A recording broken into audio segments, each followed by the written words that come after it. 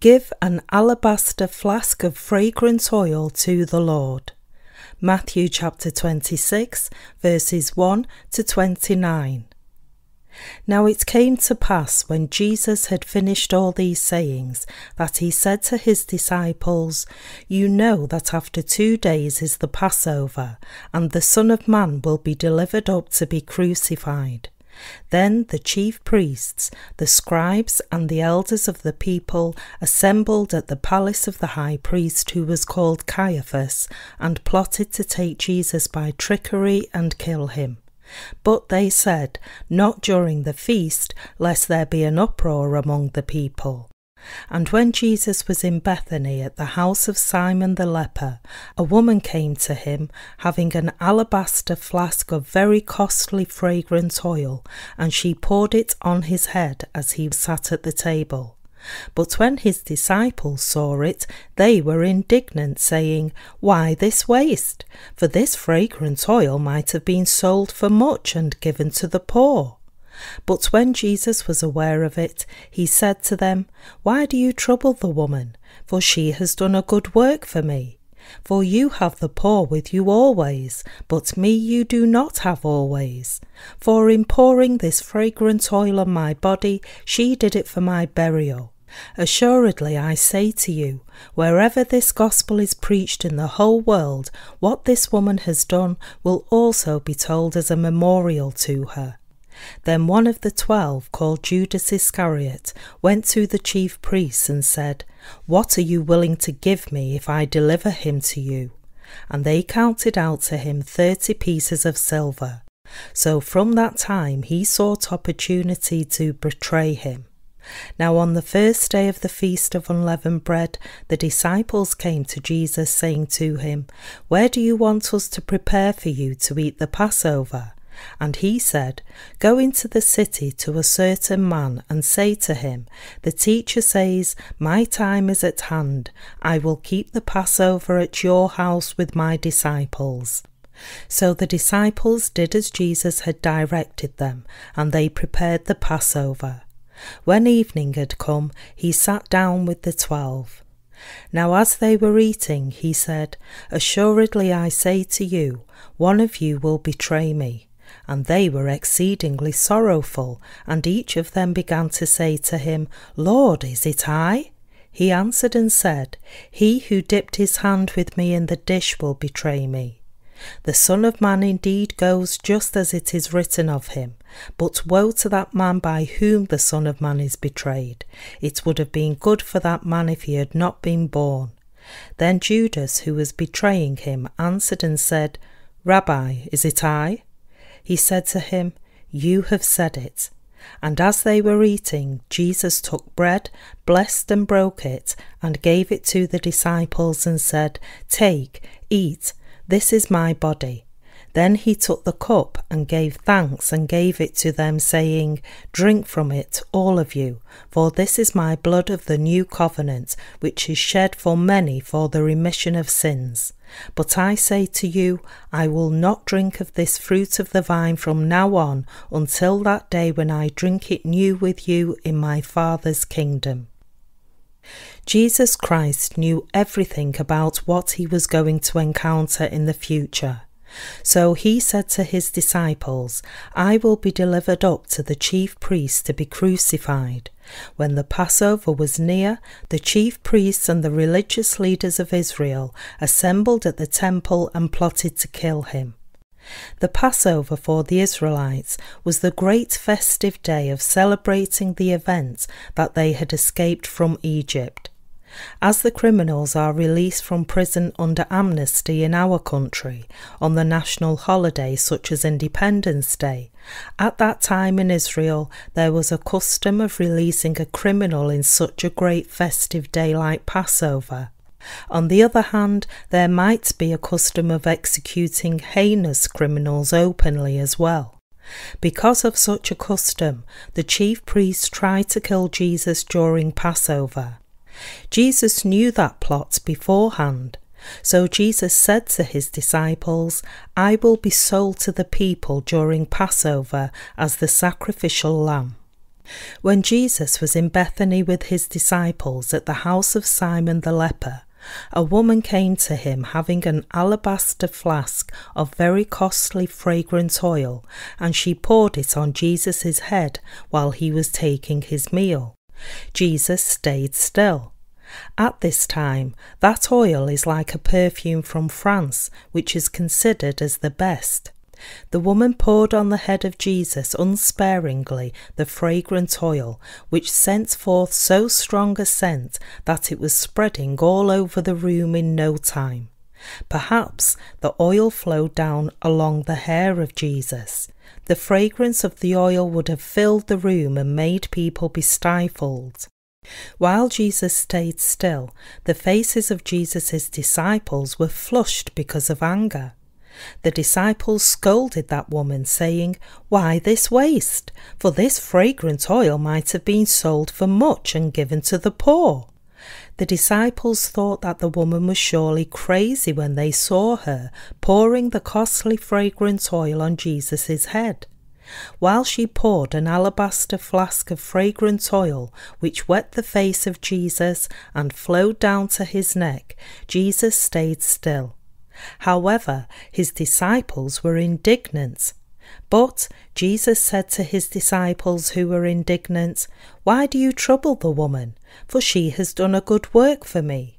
For you have the poor with you always, but me you do not have always.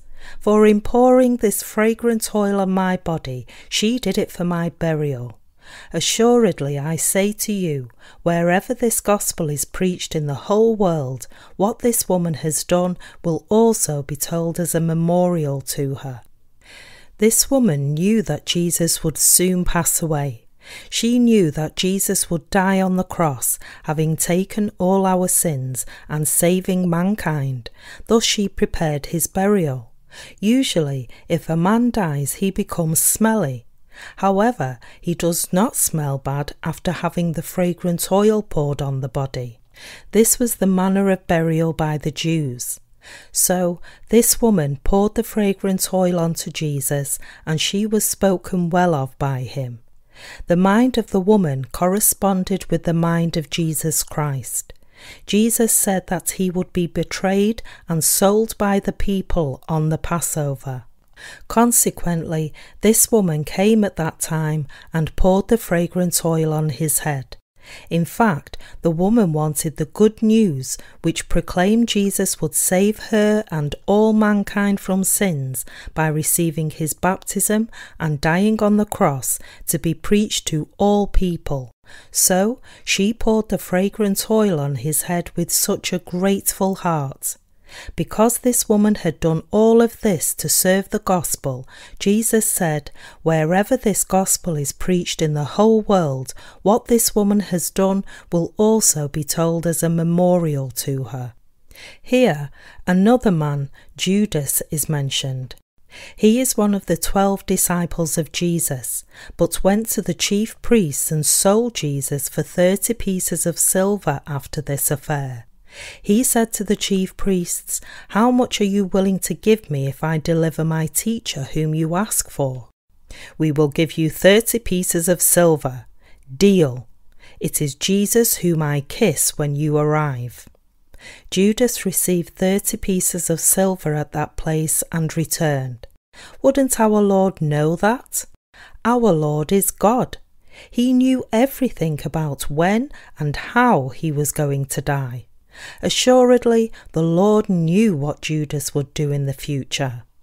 Jesus said to his disciples, Go into the city to a certain man and say to him to prepare the table for me, for I want to eat the Passover food there. When the disciples said to the man as Jesus had directed, that man prepared the bread and the wine of Passover and invited Jesus and his disciples. While eating there, Jesus said, One of you will betray me. The disciples fell into great anxiety. They were exceedingly sorrowful, and each of them began to say to him, Lord, is it I? Then Jesus said, He who dipped his hand with me in the dish will betray me. It was Judas who was holding the bread with Jesus at that very moment. So Judas said, Is it I? And Jesus said to him, You have said it. How definite a word it is. Judas already plotted to betray Jesus and receive money for that. Now, when the Passover would come, he was going to sell Jesus, but Jesus knew everything already. Even Jesus said directly that it is you who is going to betray me. But Judas pretended till the end that he knew nothing about it. Because Jesus knew even his wickedness, he said, It would have been good for that man if he had not been born. We must know that there are people who do the spiritual things of serving the gospel of the water and the spirit, and there are people who betray Jesus like Judas. Intentionally or unintentionally, people tend to be divided into two groups. Am I going to satisfy my desires of the flesh by betraying Jesus, or am I going to preach the gospel of Jesus? Which group do you belong to? Are you one of those who believe in the gospel of the water and the spirit, preach this gospel, and save the souls? Or are you one of those who betray Jesus? In fact, we must ponder on these things. There are many people like Judas who betray Jesus. Not only Judas, but there are also many people who it would have been good if they would have not been born. There are the chief priests and the religious leaders who do the spiritual life being not born again, and there are people who betray Jesus like Judas, who sold Jesus for thirty pieces of silver. My beloved saints, there are people in the world who betray Jesus and people who serve and preach the gospel of the water and the Spirit. Man cannot help but to belong in either of these groups. But people who are not born again are likely to be in the position of selling Jesus. In this age, there has been so many ways of selling Jesus. Many religious leaders write books and sell them, not knowing about the gospel of the water and the spirit, or become rich by raking in money under the pretext of the name of Jesus. For example, a certain famous Christian leader preached once at the Christian Broadcasting Centre saying, I am going to help the poor by establishing a mission foundation. Then I should have about 100,000 square metres of land and about 10,000 square metres of buildings. Then among the audiences, persons who really want to serve the Lord, like this woman of Bethany, would say, I will donate my land. Then this religious leader's mind becomes pleased and preaches the next time, I prayed before God and somebody gave me 100,000 square metres of land. And then he openly says, I received 100,000 square metres of land, but I cannot build the building because I do not have money for that. I wish somebody to offer for that. If one clamours like that at the Christian Broadcasting Centre, people who wish to serve Jesus offer the money so he can build the building. That religious leader feels so pleased receiving even that money and administers the huge foundation by his name. My fellow believers, such is just selling Jesus. Let us, the born again, think once more. Are you still betraying Jesus after being born again by believing in the gospel of the water and the Spirit? Or are you serving the gospel of Jesus? Though we, the born again, cannot sell Jesus openly, it is somehow possible for us to try to live for our flesh and for ourselves as Judas tried to live well in the flesh with thirty pieces of silver. We, the born again, are standing at the crossroad of whether to live for the flesh or to live serving the gospel. Sometimes, even after being born again, we are prone to think fleshly, How can my body live well? However, out of such confusion, we come to realize that serving the gospel of the water and the spirit by faith is the happiest life. If we remember the woman who had broken an alabaster flask of fragrant oil to serve the gospel, we should be ashamed. This woman offered all her possessions reserved for her marriage to serve the gospel. Usually, the Israelite women prepared the fragrant oil for the capital of the marriage. Therefore, this alabaster flask of fragrant oil was her capital for marriage. This woman did not have something in particular to serve the gospel, so she gave all her capital for marriage to the Lord. Basically, the faith of this woman has a great difference from that of Judas. While Judas got 30 pieces of silver by betraying Jesus, this woman lost all her possessions. People are worried how they can live after being redeemed. It would be good if there were a secret way to live well in body and spirit, but there is no such secret in serving the gospel. So, the born again righteous people encounter the problem of whether they live for the flesh or spread the gospel. They are afflicted within this problem. There will come a moment for us to decide what to do with our lives after being saved by the gospel of the water and the Spirit. However, there is nothing for us to worry about how to live the rest of our lives. Just like the life of the woman who poured the fragrant oil for the business of Jesus' gospel, a life of giving everything for the gospel is the happiest and the most blessed one. As the fragrance of the fragrant oil spread all over the room, it is the most blessed life to let the gospel of the water and the Spirit spread all over the world, making it possible for all the people to receive the remission of sins. You and I have to choose whether to serve the gospel of the water and the Spirit by giving everything we have or to live only for our flesh. Are you willing to choose the life of taking advantage of Jesus to live well in the flesh, not offering anything before God with the thought, I will be a penniless person if I give everything I have and live wholly for the gospel? I must not do that. However, the outcome of that kind of life is obvious. My fellow believers, you would know better how to live rightly. This woman poured all the fragrant oil on Jesus. Then could this woman marry or not? She could marry. As the Lord said, one who wants to die for me will live, and the one who wants to live will die. The Lord takes responsibility for the people who offer their everything for him. I can conclude on the ground that I have been living until now that many of my co workers have lived prosperously when they wished to die, but those who wished to live have ended up dying. Those who said, Damn, I don't want to serve the Lord, have surely died. However, those who faithfully served the Lord, saying, I will serve the Lord, even though I would perish on the way, lived very well Therefore, the answer of how we should live is obvious.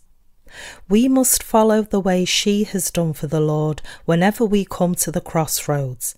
We do not meet such a crossroads once in our lifetime.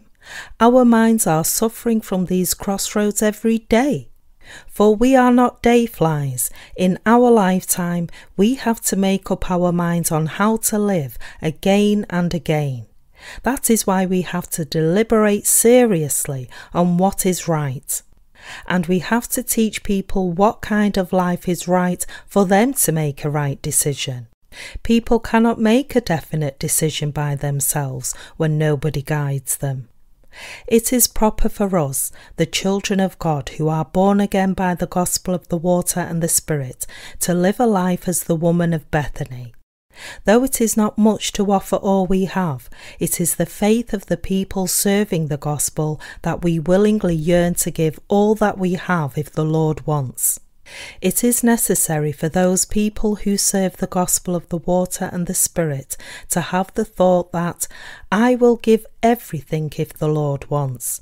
And those who serve the gospel with that thought are the ones who have determined their mind. Those who serve the gospel are the ones who have determined their minds. And if we live serving this gospel in the Lord, He supplies our necessities and blesses us abundantly in His time. Similarly, serving the Lord is just like living our whole lives, giving and receiving together with the Lord as a pitcher and as a catcher gives and receives the ball in a baseball game. In today's scripture passage, all that she did to Jesus was proper to be pleased. We have to believe that her deeds were proper, and we must have the faith of believing that it is right to give everything we have if the Lord wishes. After receiving the remission of sins, I have been standing at the crossroads wondering whether to serve the gospel while doing some business or to serve the gospel wholly. Actually, I was penniless at that time. So, after being born again, I was seriously worried about whether to live like this or to live like that. I really had a hard time until I set my mind to serve the gospel wholly. I know it is also really hard for you to make the right decision. However, now the Lord wants us to give our body, mind, and thought before any other materials. Our Lord wants us to have faith in Him, and He wishes us to follow Him by faith. The Lord wants to deal with the problems in our hearts, and this scripture passage also mentions such in context, saying, There is a woman like this, and there is Judas Iscariot. Judas betrayed me, and this woman served me. Who is right? This woman is right. What about you then? Are you the one like Judas or the one like the woman? I do not betray or sell the Lord. Well, you may not sell me intentionally, but do you serve me as your Lord or not? Do you want the gospel to be spread by giving all of yourself? Or do you just want to be redeemed and live only for your flesh, regardless of whether the gospel is preached or not? What about you? The Lord asks us, saying, What about you? Think about it. What would you do if you encountered the same situation to pick and choose and follow between these two? Would you choose Judas or this woman? What would you do? Even as we think a hundred times again, we choose to be like this woman. We Christians must live to spread the gospel. Because the woman had poured the fragrant oil, the room was full of the scent. As the Lord said, wherever this gospel is preached, what this woman has done will also be told as a memorial to her. It is too right to pour out our lives to spread the gospel. Paul said, Whether you eat or drink, or whatever you do, do all to the glory of God. 1 Corinthians chapter 10 verse 31. So it is right for us to live spreading the gospel of the water and the spirit all over the world, whether we are office workers, businessmen, or the ones who wholly serve the gospel. It means to say that all the people who receive the remission of sins must live this way. As Judas, who did not receive the remission of sins and did not actually believe in the Lord, betrayed our Lord, those who are not born again betray Jesus until now. There are so many people who satisfy their reputation, authority, or desires of the flesh by betraying Jesus. Those who deal in real estate, build church buildings, get honour, and buy a car by selling Jesus will regret this later, saying, It would have been good if I had not been born. Rather, if they are just lay believers, it is easy for them to return to God, confessing, I am truly a sinner. Jesus, I would like to believe in the gospel of the water and the Spirit. However, the leaders cannot do that easily because they are bound by their own reputations. So, the elders or the pastors cannot receive the remission of sins, while the lay believers do receive the remission of sins. It is really unfortunate that one cannot receive the remission of sins, for he cannot cast his reputation away.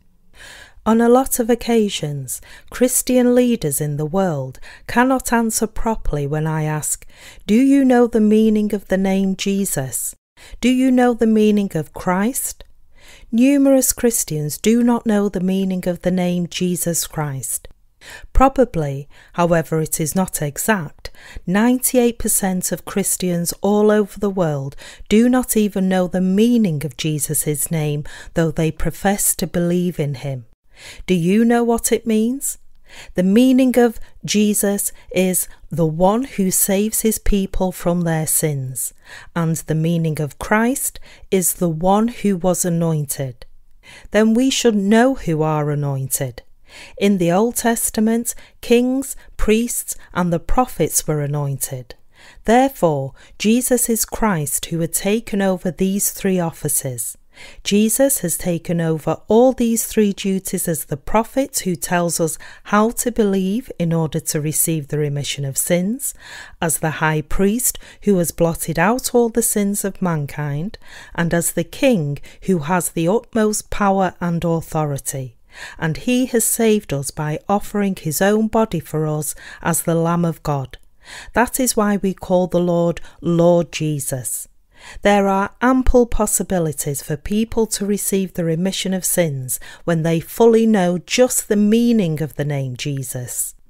However, those who do not know the gospel of the water and the Spirit, ignoring the meaning of his name, say, What's the big deal that he became a priest? So, what's new that he became a king?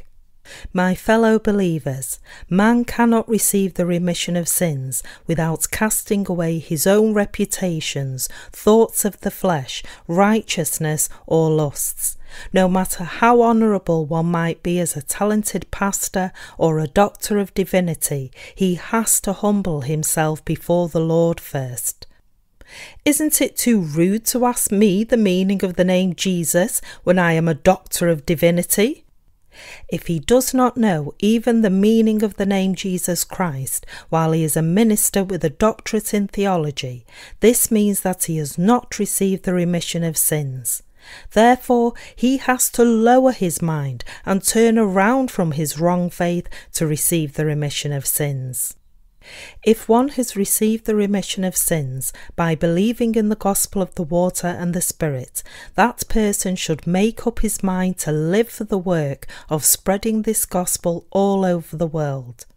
If he is not interested with the spreading of the gospel even after he was redeemed, but only thinks, that kind of work is not related to me, it is the work only for the ministers, then that person has nothing to do with the Lord. The Lord came to this world and cleansed us from all our sins. He has given us his body as well as his blood. The Lord took and broke the bread and said, Take, eat, this is my body. And giving the cup, he said, Take, drink, for this is my blood of the new covenant, which is shed for many for the remission of sins. I will save you by dying like this. I will make you sinless like this by the water and the blood. So the Lord said, Take, eat, and drink my body and my blood. We have received the remission of sins by eating and drinking the body and the blood of the Lord. Then we have to propagate this gospel of the flesh and blood to others. This is the purpose of life of a person who keeps the spiritual Passover. Our Lord came by water and blood. 1 John chapter 5 verses 4 to 8. And he told us to eat his flesh and blood. The Lord saved us by the water, the blood, and the Spirit. Whoever eats and drinks the flesh and blood of Jesus will be saved. Jesus came to this world, took upon himself all our sins by receiving his baptism on his body, and received the judgment by shedding his blood on the cross. This is what God himself has done. God has allowed us to be born again by the water and the Spirit. We must know and believe in the work that the Lord saved us by the water and the Spirit saving us from all our sins through the gospel of the water and the Spirit, and saving us from the judgment for the sins are all what God has done. Who did the works of cleansing all our sins clearly and saving us from the judgment for those sins? All these are the works that have been fulfilled by God. And our Lord said, I will not drink of this fruit of the vine from now on until that day when I drink it new with you in my Father's kingdom. Matthew chapter 26, verse 29. Jesus was very thirsty when he passed away on the cross. At that time, people filled a sponge full of sour wine, put it on a reed. When the Lord had tasted it, he would not drink. The Lord saved us by the water and the blood. He became a human being, took the sins of all mankind onto his body by receiving his baptism, and saved all mankind from being judged by offering his body and life vicariously on the cross. The Lord has saved all of us. Do we want Jesus' gospel of the water and the Spirit to be propagated, or don't we want that? It is a matter of choice whether we would offer ourselves to live only for our flesh after receiving the remission of sins or for the propagation of the gospel all over the world. This is the core of what our Lord has said in today's scripture passage. It teaches us the kind of life we are going to have. We cannot help but to choose between the two kinds of lives. There is no middle way. If you stay in the middle of them, you will say goodbye from the church some day. There are many people who receive the remission of sins in God's church. However, there are some people who say goodbye from the church because they do not know the truth that the born again have to live for the gospel of the water and the spirit, or because they don't want to sacrifice themselves while living such a life. If you are saved, how should you live? Those who are saved must go to the church of the born again. They must go to the church of the born again, listen to the word of God, believe in the word, and live for the righteousness of God.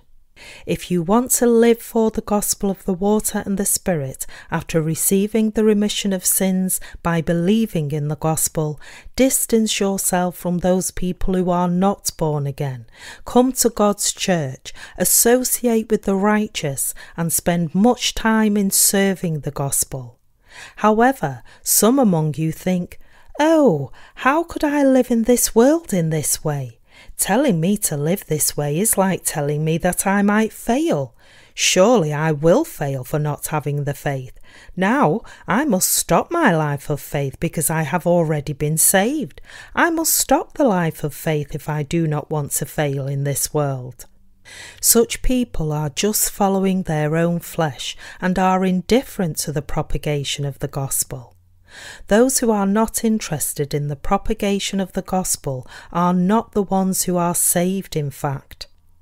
Jesus' disciples were indignant and rebuked the woman, not knowing her intention, saying, If you sold this and gave to the poor, how much could you have given to them? By pouring that oil on Jesus, we could not properly take our meal. Why are you doing this? Who would not have the fiery characteristic among the twelve disciples of Jesus? Peter was hot tempered, who really loved to interfere. James and John were probably of a fiery temperament when Jesus called them the sons of thunder. Mark chapter 3 verse 17. Therefore, they might express their indignation greatly to her. Quite probably Philip, who is fast in calculation, or Matthew, who was a previous tax collector, might calculate the price of an alabaster flask of fragrant oil mentally. When Philip said that price would be more than $20,000, then Judas, with a dark heart, might think, Ouch, $20,000? Then it would be more than enough to support my family all year round. Then Jesus said to the disciples, Why do you trouble the woman? She did it for my burial. This woman poured the oil on my head for the propagation of the gospel. Wherever this gospel is preached in the whole world, what this woman has done will also be told as a memorial to her. My fellow believers, do you know what commemoration means? If you go to Beijing in China, the picture of Mao Zedong is hanging on the Tiananmen Gate, and there is a monument at that square commemorating Mao Zedong. The Chinese government is trying to remember Mao Zedong's remarkable executive services continually through that monument and the picture. How greatly was Jesus exalting what this woman had done? It also means that what she had done was such a great work that people all over the world must know. He tells us to estimate her life highly and remember the event that she offered everything she had to serve the gospel after being born again by believing in the gospel of the water and the Spirit and being redeemed. Gospel propagation is really a great commemoration and contribution before God. The act of this woman, that she had offered her everything for the propagation of the gospel, was good enough to be exalted greatly because gospel propagation of the born again is the most important business in their lives. Jesus told his disciples to commemorate what this woman had done. We also have to commemorate all the time what this woman has done. We must engrave the core of this woman's heart in our mind, give ourselves for serving and propagating the gospel every day, and we must not forget how greatly the Lord was pleased with that event. Where do you want to devote your whole lives? We must give our lives to the Lord and live for this gospel propagation that proclaims that the Lord has saved us with the gospel of the water and the Spirit. We must give our lives in preaching the gospel after being saved, and we must live for this. Today's scripture passage tells us to be righteous, and we must keep this word in our minds all the time. Nothing else can be the purpose of our lives. Jesus said, For you have the poor with you always. Dear fellow believers, how many poor people are on this earth all the time? And how many people are there who wish to help the poor? How many poor people are there on this earth while so many people throw themselves into helping the poor? No matter how hard we try to help the poor, they will not be gone. This time, the whole world is helping North Korea. However, the poverty of North Korea will never be eradicated. God intentionally let the poor to be in this world. God let the poor to be like that because their minds can become poor when they are actually poor and they will believe in Jesus when their minds become poor. Jesus said to us, You have the poor with you always. They cannot escape from poverty even if you help them humanly, and it is not a proper thing to help them only in the flesh. However, Jesus' disciples seemed so good that they had a mind to do good, thinking, if the fragrant oil had been sold for much, we would have helped the poor very much. How nice a thought is this in the humanly aspect. However, Jesus rebuked them, saying, Why do you trouble this woman when she did the right thing?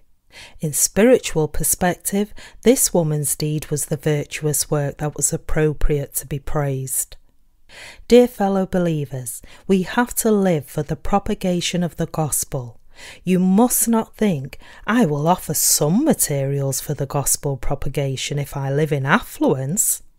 The Lord says to us in the parable of a widow's two mites that one who serves the gospel in poverty is really a blessed one. The Lord says that it is really virtuous that we live for the propagation of this gospel after being born again. Propagating the gospel all over the world is hundreds and thousands of times more virtuous than helping poor people in Somalia with food and medicine. Gospel propagation is the most virtuous deed because it enables the souls to receive salvation. We truly have to know which is the proper way of life, and we have to live with a clear demarcation line in our minds. We have to live having a clear conviction that preaching the gospel of the water and the Spirit is the right thing for us to do. Though we live in our flesh, we have to have spiritual discernment and we have to bear in our minds the clear and definite purpose of life. How should we live? We have to live for the propagation of the gospel. We cannot be double minded men who are unstable in all our ways by following the flesh for a while and then following the spirit and vice versa in turn. God does not bless those who are double minded. Though we are truly insufficient, we have to fix our minds. We have to fix our minds to live for the gospel propagation like the woman who gave an alabaster flask of fragrant oil to the Lord. I do not literally mean to live for the gospel 100% in acts. What I meant to say is for you to have a right faith. I admonish you to have the faith that preaching the gospel of the water and the Spirit is right.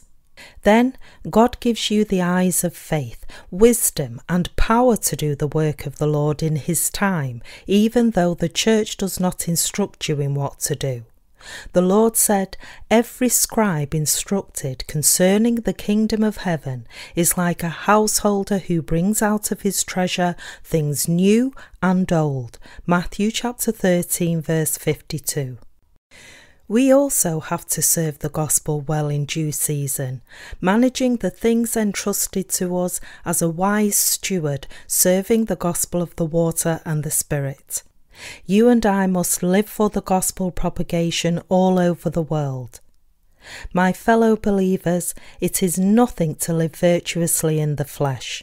It is hypocrisy in real life. It is the false virtue pretending to be the real one.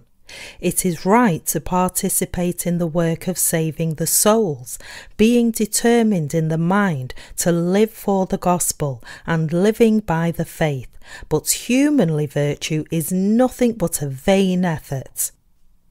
Jesus said to his disciples to commemorate what this woman had done, but his disciples did not understand him at first.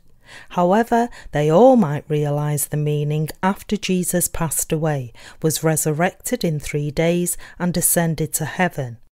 The disciples of Jesus preached and taught the gospel of the water and the Spirit all over the world after this realization. Oh, living for the gospel after receiving the remission of sins is the right life. Probably the disciples would have testified like this. Once, when we were eating with Jesus, a woman suddenly broke an alabaster flask of fragrant oil and poured it on the head of Jesus. So we were so perplexed and said, What are you doing? Then Jesus said, Stay quiet. We could not understand what his saying was at that time, but we realize now that the life of living for the spreading of the gospel is the righteous one. My fellow believers, if you do not live for the gospel of the water and the Spirit, it is not just a matter of being rebuked, but it is a wrong faith that makes you go to hell and be punished there. My fellow believers, let us not disgrace God. It is a disgrace to God for us not to live for the propagation of the gospel, but to live for the flesh after receiving the remission of sins. Let us, the born again of the water and the Spirit, not live only for our flesh, but be a child of God, who, rather than disgrace him, gives the glory to him by propagating the gospel to the whole world. It is because we are the light and the salt of this world, no matter how severely the others may revile against us. If we, the born again of the water and the Spirit, do not serve the gospel, this world will be corrupted. As the salt makes food to last a long time without going rotten, this world is not being decayed, owing to us, the righteous. And this world is still in the light because we are the light of the world.